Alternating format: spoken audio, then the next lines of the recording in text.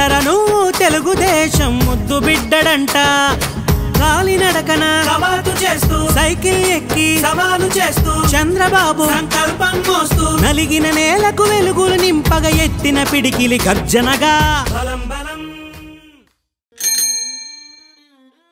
రానున్న రెండు వేల ఇరవై నాలుగు ఎన్నికల్లో గాజువాక నుంచి ఉమ్మడి పార్టీల జనసేన టీడీపీ బీజేపీ నుంచి పోటీ చేస్తున్న పల్లా శ్రీనివాసరావు గారితో ఈరోజు మనం ఉన్నాం. గత ఎన్నికల్లో పవన్ కళ్యాణ్ గారు పోటీ చేసినప్పుడు శ్రీనివాసరావు గారు పోటీ చేసినప్పుడు కాపు సామాజిక వర్గం నుంచి వచ్చే ఓట్లు అలాగే యాదవ్ సామాజిక వర్గం నుంచి వచ్చిన ఓట్లు లెక్కని చూసుకుంటే ఇంచుమించుగా అవి కలిపి eighty two eighty five percent వచ్చింది. అదే ఈసారి శ్రీనివాస్ గారు ఒకరే పోటీ చేస్తున్నారు. శ్రీనివాస్ గారు నమస్తే అండి. నమస్కారం. Sir last time Pavan Kalyan పోటీ చేసినప్పుడు ఓట్లు యాభై ఎనిమిది వేలు అంతా వచ్చాయి. మీరు పోటీ చేసినప్పుడు కూడా ఇంచుమించు నలభై ఎనిమిది వేలు అని వచ్చాయి. ఈసారి ఆయన యాభై ఆరు వేలు. మీది యాభై ఆరు వేలు వచ్చాయి ఆయన యాభై ఎనిమిది వేలు వచ్చాయి. అవును. అది ఈసారి ఉమ్మడి అభ్యర్థి అయ్యారు అంటే టీడీపీ జనసేన బీజేపీ. ఈసారి ఎలక్షన్లో మీ తాలూకు విజయం ఎలా ఉంటుందని మీరు అనుకుంటున్నారు? తప్పనిసరిగా ప్రజలు ఆదరిస్తారని అనుకుంటున్నాను నేను. ఎందుకంటే తెలుగుదేశం జనసేన ఇప్పుడు బీజేపీ కూడా కలవడం జరిగింది. ఇక్కడ ఎక్కువగా తెలుగుదేశానికి జనసేనకి ఎక్కువ ఆదరిస్తారండి ప్రజలు ప్రాజెక్ట్ నియోజకవర్గంలో. ఎందుకంటే ఇక్కడ ఎక్కువ నాయకులు కూడా ఉన్నారు ఈ రెండు పార్టీలకి. బీజేపీ నుంచి కూడా ఉన్నారు. అది ఈ రెండు పార్టీలకు ఎక్కువ ఉన్నారు అన్నది నా ఉద్దేశం అనమాట అలాగే ఈ గత పది సంవత్సరాలుగా నేను ప్రత్యక్ష రాజకీయాల్లో ప్రజలతో గాజోక నియోజకవర్గం ప్రజలతో మమేకమై ఉన్నాను. నా అధికారం ఉన్నప్పుడు నా పనిచేసే తీరు చూశారు. అలాగే అధికారం లేనప్పుడు నేను ఏ విధంగా ప్రతిపక్షంలో ఉన్నప్పుడు అపోజిషన్ పార్టీస్గా మేము ఎలాగ పోరాటాలు చేసాం ఆ ఈ గాజోక సమస్యల మీద అన్నది ప్రజలు చూస్తున్నారు. కనుక ఈసారి ఖచ్చితంగా ఈ కూటమిని తెలుగుదేశం జనసేన బీజేపీ కూటమిని గాజోకలో ప్రధానికం ఖచ్చితంగా ఆదరిస్తారని నాకు నమ్మకం పల్లా శ్రీనివాస్ గారు ఈసారి పోటీలో సామాజిక వర్గం మీద సామాజిక వర్గాల మీద అంటే కాపు సామాజిక వర్గం అండి లేకపోతే యాదవ సామాజిక వర్గం గారండి రెడ్డి సామాజిక వర్గం ఇలా సామాజిక వర్గాల మీద ఆధారపడి పోటీ చేస్తున్నారా? గతంలో ఎమ్మెల్యేగా పోటీ చేసి మీరు గెలిచి ప్రజా సంక్షేమం కోసం మీరు పాటుపడ్డారు. దాని మీద యోచన చేసుకొని మీరు పోటీలు దిగారా? ఎప్పుడు కూడా పొలిటికల్ లీడర్షిప్ ఎప్పుడు కూడా కులాల సమీకరణ కాదండి. కులాలపైన ఆధారపడి మనం చేస్తే అవదు ఎప్పుడు కూడా. ప్రజలు ఎప్పుడు కూడా అంటే ఇప్పుడు నేను ఒక కులానికి సంబంధించిన కనుక ఆ, మిగతా కులం నా కులం ఒకటే చేస్తే సరిపోతా అంటే అనుకోదు సరిపోదు. ఎప్పుడు కూడా ప్రజల యొక్క నమ్మకం తీసుకోవాలి అన్ని కులాల యొక్క నమ్మకం తీసుకోగలగాలి. ఆ చేకూర్చుకోవడం ఎలాగవుతుందంటే మనం ఎప్పుడు కూడా నిరంతరం ప్రజా సమస్యల మీద పోరాడాలి. నిరంతరం అందుబాటులో ఉండాలి. కనుక నేను గా మనం మా పనితీరు మీదే అలాగే పార్టీ చేసేటువంటి సంక్షేమాల మీద కూడా ఆదినాయకుల మీద నమ్మకం ఒకటి చంద్రబాబు నాయుడు గారి మీద నమ్మకం అవుతుంది పవన్ కళ్యాణ్ గారి మీద నమ్మకం అవుతుంది. ఇప్పుడు కొత్తగా బీజేపీ కలిసింది కనుక బీజేపీలో ఉన్నటువంటి నాయకత్వం మీద నమ్మకం కొద్దీ ప్రజలు వేయాలి. అలాగే ఆ వాళ్ళ మీద ఉన్న నమ్మకంతో పాటు వాళ్ళకు ఆలోచన విధానాన్ని ప్రజల్లోకి ఏ విధంగా తీసుకెళ్తున్నాం ఇక్కడ ఉన్నటువంటి సమస్యల మీద ఏ విధంగా మనం గలం ఎత్తుతున్నాం అన్న దాని మీద ఆధారపడి ఉంటుంది ఎప్పుడు కూడా. అంటే గతం నుంచి మీరు మీ నాన్నగారు పల్లా సింహాచలం గారు ఉన్న దగ్గర నుంచి పెందుతి నియోజకవర్గం గజకలో కలిసి ఉండేది. పెందుతుండేదండి. పెందుతి నియోజకవర్గం నుంచి బైబ్రికేషన్లో గాజువాక్ సపరేట్ అయింది మీకు. అప్పటి నుంచి చూస్తే మీరు రెండు సార్లు నాన్నగారు ఒకసారి ఎమ్మెల్యే మీరు రెండు సార్లు ఎమ్మెల్యే ఇలా జరిగింది. అండ్ మీకు అపో మీకు అపోజిషన్గా తిప్పల వాళ్ళ కుటుంబం అంటే నాగిరెడ్డి కానీ గురుమిత్ రెడ్డి గారు కానీ సో ఎప్పుడు గెలిచినా మీ మన రెండు కుటుంబాలే గాజువాక్ని ఎక్కువగా పరి పాలనలో చూసిన వ్యక్తులు. అంటే గాజువాక్లో జనరల్గా నేను ఫాదర్ అక్కడ చేశాను విశాఖపట్నం టూ చేశాను విశాఖపట్నం ఉంటుంది నేను గాజువాక్ నుంచి చేశాను. అయితే ఈ ప్రాంతంలో ఎప్పుడు సుప్ర పరిస్థితులు ఆ, అటు తిప్పలోలు కావచ్చు ఇటు గుడివాడు కావచ్చు ఇటు మా ఫ్యామిలీ కావచ్చు ఎప్పటి నుంచే ఉంది. అలాగే ఇక్కడ ఉన్నటువంటి ప్రాంతంలో స్థానికంగా ఉన్నటువంటి నాయకత్వం కూడా ఎక్కువే. నాకు తెలిసి ఒక ఫిఫ్టీ టు సిక్స్టీ పర్సెంట్ ఉంటుంది. ఎందుకంటే నిర్వాసిత గ్రామాలు స్టీల్ ప్లాంట్లో ఆ ల్యాండ్కి ఇచ్చి ఇరవై ఆరు వేల ఎకరాలు అవి తీసుకున్న తర్వాత సుమారు అరవై నాలుగు గ్రామాలు నలభై ముప్పై ఆరు దాకా కూడా అంటే అన్ని కలుపుకుంటూ వంద గ్రామాలు ఇక్కడికి వచ్చారు. హ్యామ్లెట్లు అనమాట ముప్పై ఆరు హ్యామ్లెట్లు సో చూసుకుంటే వంద గ్రామాల తరలింపు ఇక్కడ ఉంది. సో ఫిఫ్టీ పర్సెంట్ పాపులేషన్ స్థానికంగా ఉంది ఫిఫ్టీ టు సిక్స్టీ పర్సెంట్ ఇంకా మిగతాది ఇంకా స్టీల్ ప్లాంట్ వాళ్ళు ఇక్కడ స్థిరపడినటువంటి వాళ్ళు కూడా ఉన్నారు. సో ఇక్కడ ఈ కుటుంబాల మీద స్థానికులకి ఎప్పటి నుంచి అవగాహన ఉంది? అలాగే ఇక్కడ ఉన్నటువంటి వారి మీద కూడా ఎక్కువ అవగాహన ఉంది. సో అందుకనే ఇక్కడ తిప్పలోలు కావచ్చు గురువారు కావచ్చు లేదా మా మా ఫ్యామిలీ కావచ్చు పరిచయం లేనటువంటి ఎవరు లేరని నేను అనగలను. కాకపోతే గుడివాళ్ళ ఫ్యామిలీ ఏంటంటే ఎక్కువగా రూరల్లో పాలిటిక్స్ చేశారు. అక్కడ చేశారనమాట ఇక తర్వాత ఇంకా ఈ రోజు మేము కానీ కొంచెం అర్బన్లో ఉన్నాం. అది అంటే ఈసారి ఎన్నికల్లో ఇప్పుడు అమర్ పోటీ చేస్తున్నారు ఇక్కడ. ఇక్కడ మీరు ప్రొడ్యూస్ చేస్తున్నారు. ఈ పరిణామాలు ఎలా ఉంటాయని మీరు అనుకుంటున్నారు? సరే ఇప్పుడు నేను ఒకటే చెప్తున్నానండి. ఇప్పుడు ఉన్నటువంటి పరిస్థితుల్లో ఇక్కడ ఉన్నటువంటి గాజు ఒక ప్రగా ప్రధానికానికి ఎక్కువ అందుబాటులో నేను ఉన్నానన్న ఒక నమ్మకం ఉంది. నా నాకు పర్సనల్గా ఉన్నటువంటి నమ్మకం.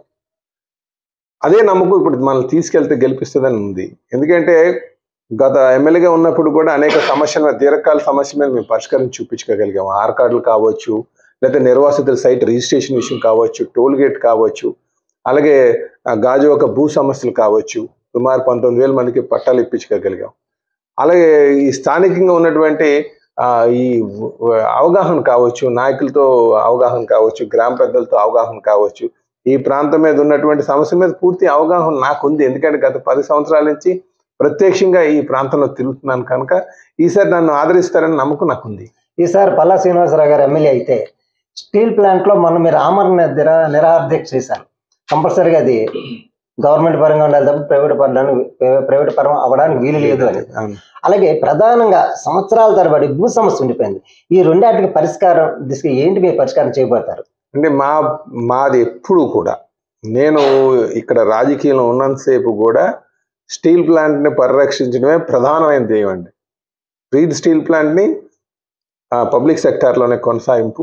లేకపోతే ప్లా ఆ ఎంప్లాయీస్ నిర్వాసితులు ఒక అభిమతంగా ఏమంటున్నారంటే సెయిల్లో మర్చేసినా పర్లేదు అని చెప్పేసి. వీటి మీద మేము ఫైట్ చేస్తాం ఇప్పుడు కూడా. ఫస్ట్ ప్రధానంగా అదే ఉంటుంది. రెండోది ఏదంటే గాజువాకి ఆల్రెడీ మేము three nought one two ninety six three eight eight ఇచ్చి పరిష్కారం చేసాం రిజిస్ట్రేషన్స్ ఆపి వీళ్ళు ఈ గవర్నమెంట్ వచ్చి డీడ్ ఆఫ్ రీకన్వెన్షన్ పెట్టింది. రేపు మేము అధికారంకి వచ్చిన తర్వాత ఈ పట్టాలు ఏవైతే ఉన్నాయో ఆ పట్టాలు మేము ఇచ్చినటువంటి త్రీ నాట్ వన్ కింద ఇచ్చినట్టు కానీ టూ నైన్ సిక్స్ కానీ త్రీ ఎయిట్ కింద ఇచ్చినటువంటి పట్టాలు నేరుగా ఆ పట్టాయే రిజిస్ట్రేషన్ డీడ్ ఆఫ్ రీకన్వెన్స్ ఆ విధంగా డైరెక్షన్ రిజిస్టర్ ఆఫీస్కి మున్సిపల్ ఆఫీస్కి కూడా తెచ్చేస్తామండి. నేను గతంలో తెచ్చాం కానీ ఈ గవర్నమెంట్ ఇంప్లిమెంట్ చేయలే. ఇప్పుడు చంద్రబాబు నాయుడు గారు సూపర్ సిక్స్ అనే పథకాలు ప్రవేశపెట్టారు.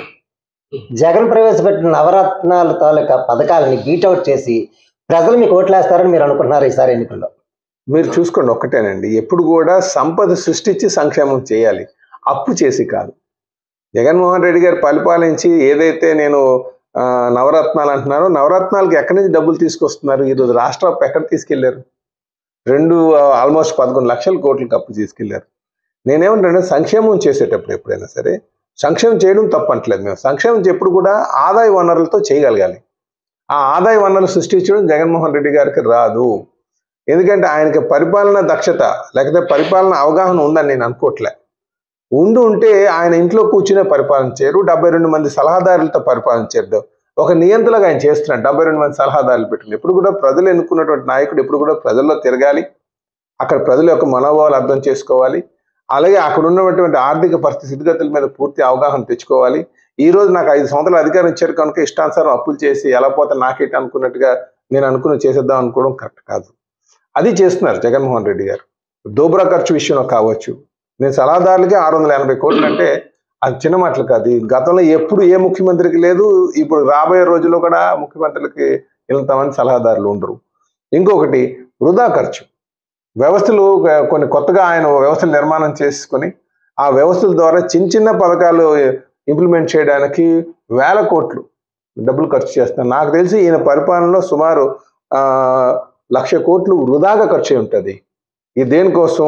వ్యవస్థ నిర్మాణం చేసుకోడు కొన్ని వ్యవస్థలు నిర్మాణం చేశాడు. వాలంటీర్ వ్యవస్థ అని చెప్పి గ్రామ సచివాలయం అని చెప్పేసి. ఒకసారి దాని మీద ఆర్థిక భారం ఎంత పడుతుందో రాష్ట్ర బడ్జెట్ మీద ఒకసారి చూడండి. అలాగే సలహాదారుల మీద. రెండోది రంగులు మార్చడం విషయంలోని. అలా కాకుండా రేషన్ డీలర్ అక్కడ పక్కనే ఉంటుంటే వ్యాన్లు తిప్పి ఆయన చేసినటువంటి విషయం కావచ్చు. సాక్షి పేపర్ కోసం పెట్టినటువంటి కావచ్చు. ఆయన చేసుకున్నటువంటి అడ్వర్టైజ్మెంట్లు ఖర్చు పెట్టినటువంటి కావచ్చు. ఇలాగా అలాగే ఆ- ఆయన లాయర్ల కోసం ప్రైవేట్ లాయర్లు పెట్టి కేసులు వాదిస్తున్నారు. గతంలో ఇప్పుడు కూడా రికార్డ్ లా మనకున్నటువంటి పీపీలు జీపీలు వాదించేవారు. అలాంటిది ప్రైవేట్ లాయర్లతో కోట్ల రూపాయలు వాళ్ళు జీతాలు ఇస్తూ తీసుకున్నటువంటి వృధా కావచ్చు. ఇలా చూసుకుంటే లక్ష కోట్ల రూపాయలు జగన్మోహన్ రెడ్డి గారు వృధా ఖర్చు చేసి ఉంటారు. మీరు ఒకసారి చూడండి. ఎప్పుడు కూడా అలాగే ఇప్పుడు మూడు రాజధానులు అన్నారు. ఒకసారి విద్వాంసం దోపిడీలు విశాఖపట్నంలో. ఆ ఉదాహరణకి మీరు చూసుకోండి. రుషికొండలో కొట్టినటువంటి బిల్డింగ్స్ చూడండి. మొత్తం రెండు వందల కోట్లు విలువ చేసినటువంటి రిసార్ట్ తీసేసి హరిత రిసార్ట్ తీసి కొండను దొల్చేసి మళ్ళీ ఇంకొక ఐదు వందల కోట్లు పెట్టి వృధా చేస్తూనే చేసి కాంట్రవర్సీ చేసుకున్నారంటే ఏమనుకోవాలి? సో నేను అదే అంటే ఈయనకి డబ్బులు సంపద సృష్టించడం చేత కాదు. మీరు అమరావతి తీసుకోండి. అమరావతిలోని మీరు ఒక్కసారి ప్రభుత్వంకి ముప్పై మూడు వేల ఎకరాలు సెల్ఫ్ ఫైనాన్సింగ్ ప్రాజెక్ట్ అంటాం. అందులో పదివేల ఎకరాలు గవర్నమెంట్ ల్యాండ్ రైతుల దగ్గర నుంచి చాలా సగం సమీకరించినటువంటిది. రైతులకి ఇచ్చిగా రోడ్లకి పార్కులు తీసిగా ప్రభుత్వంలో ప్రభుత్వం చేతిలో సుమారు పదివేల ఎకరాలు ఉంది. చూడండి ఒక పైసా కూడా పెట్టకుండా ఎక్విజేషన్ చేశారు. పదివేల ఎకరాలు ఈ గవర్నమెంట్ వైసీపీ గవర్నమెంట్ ఒక్కొక్క ఎకరా పది కోట్లు కమ్మడానికి ప్రయత్నం చేసింది. అంటే పదివేల ఎకరాలు అంటే పది కోట్లు అంటే ఎంత ఉంది? లక్ష కోట్ల ఆస్తి సృష్టించారు అక్కడ. సో దా- ఎప్పుడు కూడా నాయకుడు అలాగ ఉండగలగాలి. సంపద సృష్టించి సంక్షేమం చేయి. అంతే అలాగే వృధాని ఖర్చు వృధాని అవాయిడ్ చేయాలి. ఈరోజు చేసేటువంటి అప్పులన్నీ కూడా ఎవరి మీద పడతాయి? భారం భారం. అలాగే జగన్మోహన్ రెడ్డి గారు అడ్డుగోలుగా సంపాదించినటువంటి తీరు చూసుకోండి. ఫార్టీ థౌజండ్ క్రోర్స్ నలభై వేల కోట్లు ఒక్క లిక్కర్ మీద సంపాదించుంటారట. శాండ్ మీద ఎంత సంపాదించారు మైన్ మీద ఎంత సంపాదించారు. ఇదంతా ఇక్కడ వృధా ఖర్చును తీసుకున్న ఈయన జోబులోకి వెళ్ళినటువంటి ఆయన ఆదాయం తీసుకున్నా ఎవరు ఆస్తి పోతుంది? ఇది మీ బీద మధ్యతరగతి కుటుంబాల యొక్క ఆస్తిని ఈయన కొలగొడుతున్నట్టుగా. ఇది రేపు చాలా ప్రమాదకరమైనటువంటి పరిస్థితికి దారితీస్తుంది. ఇది మీరు గమనించగలగాలి. శ్రీనివాస్ గారు ప్రధానంగా ఒక అంశం మిమ్మల్ని అడుగుతాను. రాష్ట్రంలో శరవేగంగా అభివృద్ధి చెందుతున్న నగరం ఏదైనా ఉంటే అది విశాఖపట్నం. దేశంలో అతి ఎక్కువ ట్యాక్సులు కట్టే నియోజకవర్గం ఏదో ఉంటే గాజువాక నియోజకవర్గం. అయితే ఆర్థిక రాజధానిగా విశాఖపట్నానికి చేయడానికి జగన్ పూనుకుంటే మీరు ఎందుకు అడ్డుకుంటున్నారు? అంటే టీడీపీ ఎందుకు అడ్డుకుంటుంది? మీరు పొరపడుతున్నారు ఆర్థిక రాజధాని చేయడానికి ఆయన ప్రయత్నం చేయలే. ఆయన స- పరిపాలనా రాజధాని అంటున్నాడు. మీరు ఒకసారి చెప్పండి పరిపాలన రాజధాని అంటే ఒక దగ్గర అసెంబ్లీ ఇంకో దగ్గర పరిపాలన ఇంకో దగ్గర హైకోర్టా? ప్రపంచ దేశంలో ఎక్కడైనా ఉందండి అలాంటివి? మీరు చూడండి. ఇన్ని దేశాలు ఉన్నాయి కదా వందల దేశాలు ఉన్నాయి కదా ఒక్క సౌత్ ఆఫ్రికా దేశంలో ఉంది. సౌత్ ఆఫ్రికా కూడా అనౌన్స్ చేసింది ఇది వైబిలిటీ లేదు. మీరు ఒకటి బాగా సా- మీరు చెప్పాలి అందరికీ అసెంబ్లీ నడిచేటప్పుడే దాని పక్కనే సెక్రటేరియట్ ఉండాలి.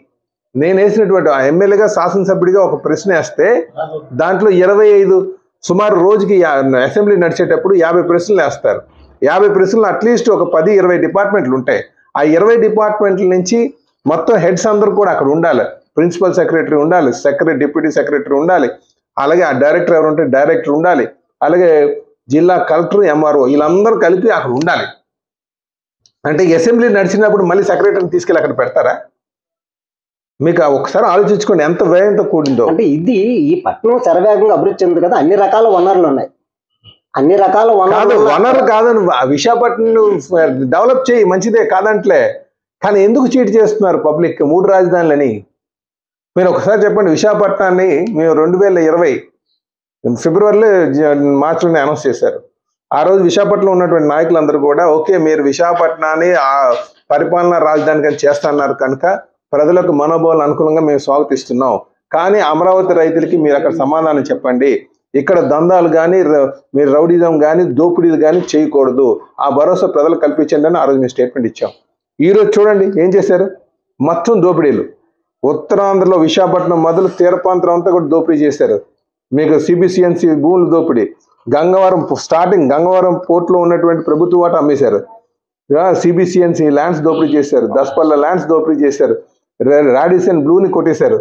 రే బే పార్క్ కొట్టేశారు ఋషికొండను ధ్వంసం చేశారు.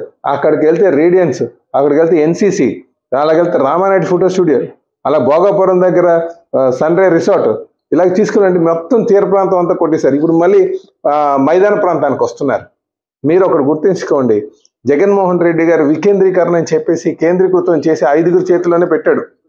ఐదుగురు చేతిలోనే దుష్ట చతుష్టయం లాగా అంటారు కదా నలుగురు దుష్ట చతుష్టం లాగా ఒకటి సజ్జల రామకృష్ణారెడ్డి పెదరెడ్డి రామచంద్రారెడ్డి సుబ్బారెడ్డి గారు అలాగే విజయసాయి రెడ్డి గారు. వీళ్ళనే పరిపాలన రీజనల్ కోఆర్డినేటర్స్గా పెట్టి వీళ్ళతోనే పరిపాలన సాగిస్తున్నారు తప్ప ఆయన చెప్పిన మాటలు నమ్మడానికి లేదు.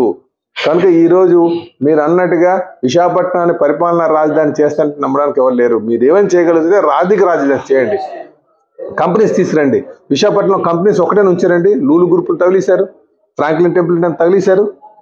అలాగే ఇక్కడ అనేక ఐటీ ఇండస్ట్రీస్ని మీకు ఐటీ పార్క్లోని మీకు ఏదైతే బిల్డింగ్ ఉందో ఇంక్యుబేషన్ సెంటర్ అంటే మిలియన్ టవర్స్ ఎవరైనా సాఫ్ట్వేర్లు పెట్టుకుంటే కంపెనీస్ పెట్టడానికి అందులో వస్తారు. అలాంటి కంపెనీస్ అన్ని కూడా ఖాళీ చేసి పంపించేశారు. చేసి పరిపాలన రాజధాని పరిపాలన అడ్మినిస్ట్రేషన్ బిల్డింగ్ అంటున్నారు. ఎక్కడైతే కంపెనీస్ పిల్లలు ఒక కొత్త కొత్త ఐడియాస్తో పెట్టే పెట్టడానికి కోసం కట్టినటువంటి బిల్డింగ్ని ఖాళీ చేపించి ఐటీ కంపెనీస్ అన్ని ఈయన మళ్ళీ దీన్ని రజత నమ్ముతారంటే ప్రజలు నమ్మడానికి ఎవరు సిద్ధంగా లేరు. ఇది నాకున్నటువంటి అనుభవం. ఇది ఓన్లీ కేవలం ప్రజల్ని మనోభావాలు రెచ్చగొట్టడానికి చేసేటువంటి ప్రయత్నం. జగన్మోహన్ రెడ్డి మీకు ఆయనతో కుమ్మక్కై ఎవరితో? కేసీఆర్తో కుమ్మక్కై ఈరోజు అమరావతి కిల్చేశాడు అక్కడ పోలవరం కిల్చేశాడు ఇది కేవలం తెలంగాణ ప్రయోజనాల కోసం చేసినటువంటి ప్రయత్నం. ఈయనకి ఆయనకు ఉన్నటువంటి అవగాహనతో ఈరోజు ఈ రాష్ట్రానికి నాశనం నష్టం చేకూర్చారని చెప్పి తెలియజేస్తుంది గాజువాకు ప్రజలు ఈసారి పల్లా శ్రీనివాస్ గారికి ఓట్లు వేయాలి ఏ పద్ధతి మీద?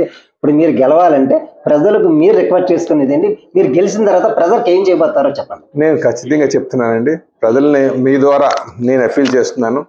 నేను నాకు ఓటు వేసి గెలిపిస్తే ఏదైతే దీర్ఘకాలంగా ఉన్నటువంటి సమస్యలన్నీ పరిష్కారం చేస్తాను ప్రధానంగా స్టీల్ ప్లాంట్ని ప్రైవేట్ పరం కాకుండా నేను పరిరక్షిస్తామని చెప్పేసి తెలియజేస్తున్నాం. గతంలో మేము పరిరక్షించాం. వాజ్పేయి గారి గవర్నమెంట్లో అలాగే మేము పోరాటాలు చేసాం గడిచిన గత ఐదు సంవత్సరాలుగా. ఇదే కాకుండా ఏదైతే మేము పంతొమ్మిది వేల పట్టాలు ఇచ్చామో GO number three nought one కింద టూ నైంటీ సిక్స్ కింద త్రీ ఎయిటెడ్ కింద ఇచ్చాము. ఆ పట్టాలకి వాళ్ళు కం పూర్తి స్థాయి రిజిస్ట్రేషన్ జరిగేటట్టుగా ఆ ఆర్డర్ మేము ఆల్రెడీ పా పాస్ చేసాం. దాన్ని మళ్ళీ పూర్తిగా ఇంప్లిమెంట్ చేసి జరిగేట డీడ్ ఆఫ్ రీకన్వెన్స్ అంటూ చుట్టూ తిప్పడం కాదు. అదే ఇచ్చినటువంటి పట్టే డీడ్ ఆఫ్ రీకన్వెన్స్ అయ్యేటట్టుగా చేస్తామండి. అలాగే ఆర్ కార్డులు డౌట్ఫుల్ ఆర్ కార్డ్స్ ఉన్నాయండి. వాటిలన్నింటికి కూడా మేము తీసుకొస్తామని కూడా తెలియజేస్తుంది. ఆ డౌట్ఫుల్ ఆర్ కార్డ్స్ సుమారు నాలుగు వందల డెబ్బై రెండు ఉంది. వీటితో పాటు ఆ నిర్వాసికి సంబంధించినటువంటి ఉద్యోగం విషయం కావచ్చు టోల్ గేట్ విషయంలో కావచ్చు ఏపీఐసి ల్యాండ్ విషయం కావచ్చు ఇలాగా అలాగే రేపు సర్వేగంగా గాజు ఒక అభివృద్ధి చెందుతుంది కనుక ఆ ప్రాంతంలో ఆ రోడ్ నెట్వర్క్ కావచ్చు బ్రిడ్జెస్ కావచ్చు వీటితో పాటు మేము ఈఎస్ఐ హాస్పిటల్ తీసుకొచ్చాం. ఆ ఈఎస్ఐ హాస్పిటల్కి ఇప్పుడు స్టార్ట్ అయింది. దాన్ని ఇంకా వేగవంతం చేసి ఆ హాస్పిటల్తో పాటు మెడికల్ కాలేజ్ ఇట్టటి కూడా మా ప్రయత్నం మేము చేస్తామని చెప్పి తెలియజేస్తాం. నేను గత ఐదు సంవత్సరాలుగా అనేక సమస్యలు పరిష్కారం చేసాం ఆర్ కార్డ్ ట్రాన్స్ఫర్ విషయం కావచ్చు నిర్వాసితుల భూములు రిజిస్ట్రేషన్ విషయం కావచ్చు అలాగే టోల్ గేట్ తొలగించిన విషయంలో కావచ్చు గాజోక ప్రాంతంలో సుమారు పంతొమ్మిది వేలు హౌస్ కమిటీకి సంబంధించినటువంటి కావచ్చు కొండవాల ప్రాంతంలో ఉన్నటువంటి వారి కోసం కావచ్చు అనేక పట్టాలు ఇష్టం పంతొమ్మిది వేల మంది పట్టాలు ఇష్టం వీటితో పాటు ఈ గతంలో చేసాం ఇంకా వీటికి మిగిలిపోయినవన్నీ కూడా చేయిస్తామని చెప్పేసి తెలియజేస్తున్నాను. రెండు వేల ఇరవై నాలుగు ఎన్నికలలో తనకి గాజువాక నియోజకవర్గం నుంచి ఎమ్మెల్యేగా గెలిచినట్లయితే గాజువాక ప్రజల సమస్యలు స్టీల్ ప్లాంట్ సమస్య నిర్వాసితుల సమస్య అలాగే ఏవైతే పెండింగ్ ఉన్నాయో పెండింగ్లో ఉన్న సమస్యలన్నీ పరిష్కరిస్తాం. మరి ఇంకొకసారి అవకాశం అండి ఈ అవినీతి పాలన నుంచి నీతి నిజాయితీ అయిన పాలన కావాలంటే తెలుగుదేశానికి ఓటేసి పల్లా శ్రీనివాసరావు గారిని గెలిపించాలని అడుగుతున్నారు. ఈసారి పల్లా శ్రీనివాస గారు ఓటేసి గెలిపించాలని మనం కూడా కోరుకున్నాం thank you thank you thank you Telugu Desam ముద్దు బిడ్డడంట. కాలినడకన కవాతు చేస్తూ సైకిల్ ఎక్కి సవాలు చేస్తూ చంద్రబాబు సంకల్పం మోస్తూ నలిగిన నేలకు వెలుగులు నింపగ ఎత్తిన పిడికిలి గర్జనగా బలం బలం